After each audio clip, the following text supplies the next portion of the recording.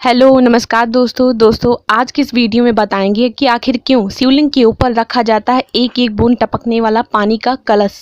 आपने तमाम मंदिरों में शिवलिंग के ऊपर एक कलश रखे देखा होगा, जिसे 24 घंटे एक एक बूंद पानी गिरता है। यह देखकर कई बार मन में प्रश्न भी उठते होंगे कि आखिर ऐसा क्यों किया जाता है। आप सभी जानते हैं कि सावन का महीना चल रहा है। इस मौके पर आज हम आपको बताएँगे कि शिवलिंग के ऊपर चौबीस घंटे जल की बूंद गिरने का रहस्य क्या है। ये धार्मिक कारणों पर नज़र डाले तो उसका संबंध समुद्र मंथन से जुड़ा हुआ है। समुद्र मंथन के दौरान निकले हलाहल विष को पीने के बाद महाकाल का गला नीला पड़ गया था उनके शरीर में बहुत ज़्यादा जलन हो रही थी।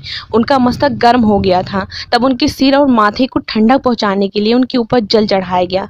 इससे महादेव के शरीर को थोड़ी ठंडक मिली, तभी से महादेव को जल अभिषेक अत्यंत प्रिय हो गया। इसीलिए महादेव की भक्त उनकी पूजा के दौरान जल अभिषेक ज़रूर करते हैं। वही महादेव को ठंडक पहुँचाने की भाव से शिवलिंग पर कलश स्थापित किया जाता है, जिससे चौबीस घंटे बूंद बूंद करके जल टपकता है। खासतौर पर ये कलश गर्मी के दिनों में रखा जाता है। माना जाता है कि जो भी भक्त शिवलिंग पर पानी का कलश स्थापित करता है एक एक बूंद के साथ साथ उसका हर संकट दूर हो जाता है। वहीं अगर वैज्ञानिक दृष्टि से देखा जाए कि आखिर शिवलिंग के ऊपर बूंद बूंद करके पानी क्यों टपकाया जाता है तो ये बहुत ही शक्तिशाली सृजन है।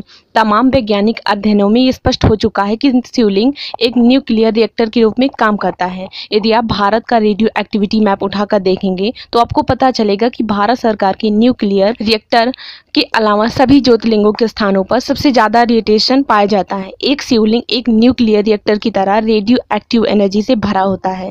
इस प्रलयकारी ऊर्जा को शांत रखने के लिए हर शिवलिंग पर जल चढ़ाया जाता है। वहीं कुछ मंदिरों में कलश में जल भरकर ही शिवलिंग के ऊपर रख दिया जाता है। इससे गिरती एक एक बूंद शिवलिंग को शांत रखने का काम करती हैं।